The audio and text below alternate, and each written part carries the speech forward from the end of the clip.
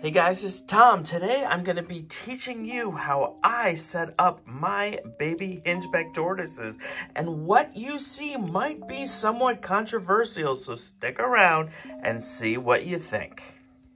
I like to use these tubs from Homes. No vents whatsoever. We want it to be warm and fairly consistent temperatures. As far as substrate, I'm going to use this mix of sphagnum peat moss and sand to give me a nice sandy loam.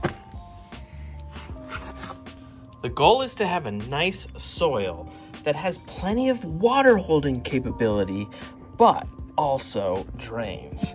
I'm gonna go ahead and firm this soil down. This is our base layer. Then we'll place an area to. We're gonna put two tortoises in here, so we'll have two little clay pots.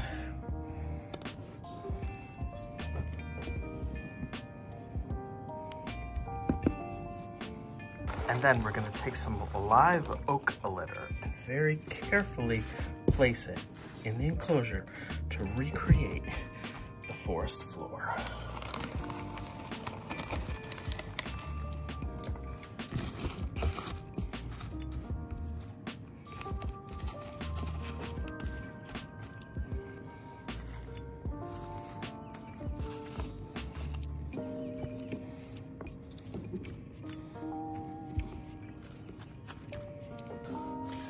And then for places to hide, we'll use Spanish moss.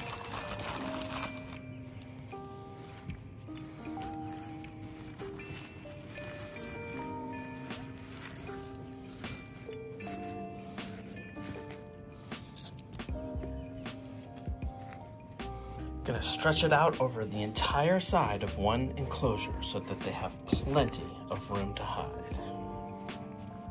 We'll fill up the water. Add some moisture to the moss. And then we'll put some chopped mushrooms as their first dish. And then the last thing we do is try them out in their new homes.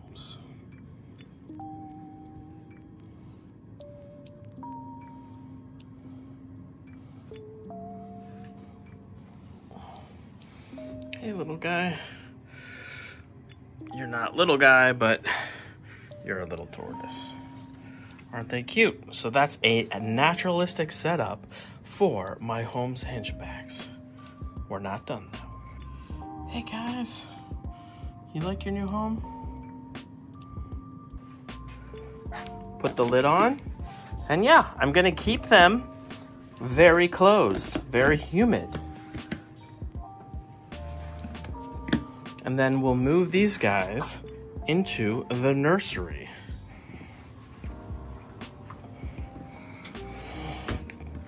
Here we have a rack for tortoises specifically. I've got a heat cable from Zoo Med intertwined throughout. And this is where these guys will live. They'll have the ambient light of the room and they will live up in a very, very nice style. Now, they don't have any UVB. I've successfully raised animals without UVB as long as I give them vitamin D3 in their food. So that comes from Zoo Med aquatic turtle food and it comes from Mazuri tortoise chow. So that's where those guys will live keep with me. Let's watch these guys. You tell me, have you ever raised up a tortoise with UVB? Have you ever raised up a tortoise without UVB? What was the difference? Let us know. Thanks for watching. We'll see you next time. I'm Two Turtle Tom. Check out all the wonderful videos that I have for you right here.